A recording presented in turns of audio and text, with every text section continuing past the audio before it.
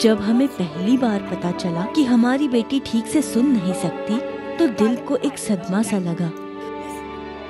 फिर हमने उसकी कमज़ोरी की बजाय उसकी सुनने की ताकत पर ध्यान देना शुरू किया तो उसकी ज़िंदगी बदल गई।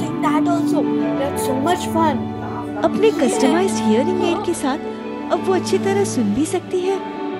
और बोल भी सकती है। मेरी हियरिंग इम्पेयरमेंट की वजह से लोग हमेशा मुझे टेक्निकल फ़ील्ड या रिसर्च फ़ील्ड में जाने को बोलते थे। क्योंकि सीईओस को तो लोगों से मिलना पड़ता है, उनसे बात करनी पड़ती है। थैंक गॉड मैंने उस वक्त लोगों के बजाय अपने दिल की सुनी। वरना ना मैं अपना स्टार्टअप करता और ना ही इतना सक्सेसफुल होता। बरसे बिना ही आँख से बदली चली गई। चाहा था जिसको दिल से वो दिल्ली चली गई। सोचा कि जान दे दूँ मैं बिजली के तार से। खंभे पे मैं चढ़ा था कि बिजली चली गई।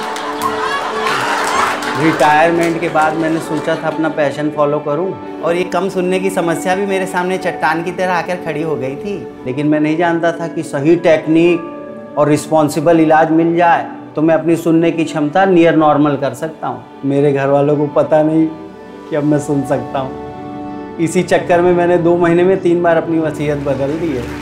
आप में से कितने लोग जानते हैं कि अगर हमारी हियरिंग 10 या 20 परसेंट भी हो तो उसे टेक्नोलॉजी यानी हियरिंग एड और कॉकलर इम्प्लांट से नियर नॉर्मल किया जा सकता है। मरीज़ की ज़रूरत पहचानना और सही डायग्नोसिस करना यही इलाज को सफल बनाता है। तो आइए मिलकर हियरिंग हेल्थ अवेयरनेस पूरे देश में फैलाएँ।